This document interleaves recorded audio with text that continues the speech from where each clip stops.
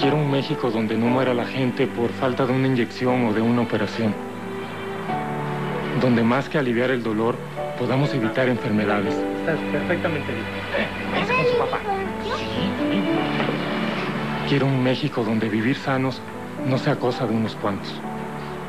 El México que tú quieres es el México que nosotros queremos. Cámara de Diputados, 60 legislatura, a favor de México.